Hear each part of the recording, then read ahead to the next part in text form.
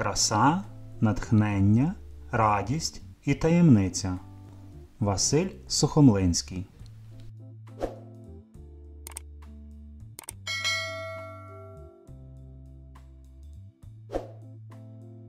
Пішов маленький хлопчик до лісу. По дорозі зустрів діда, що повертався з лісу. Старий був зморений, але радісно посміхався. Чого ви радієте, дідусю? Запитує хлопчик.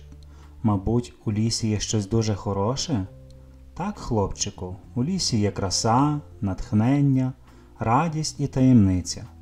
Я їх побачив, і мені захотілося жити ще багато-багато років. Хлопчик побіг до лісу, подивився навколо себе, усе красиве, і дуб могутній, і ялинка ошатна, і верба плакуча, і береза білокора. А найкрасивішою хлопчикові видалася маленька квіточка фіалки. Вона підняла поверх трави свою синю голівку з фіолетовим очком, яке запитливо поглядало на хлопчика.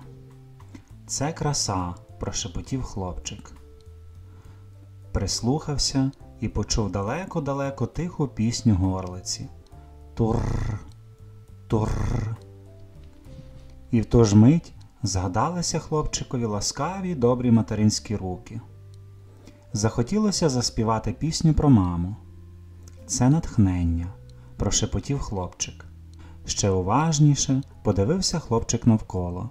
Яскраво сяяло сонечко, високо в синьому небі літали птахи, до самого обрію пливли зелені хвилі лісу.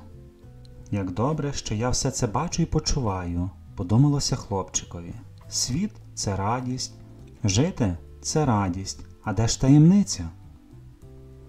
Довго, дуже довго придивлявся і прислухався хлопчик, але таємниці не помітив. Пішов хлопчик до лісу і наступного дня знову назустріч дід.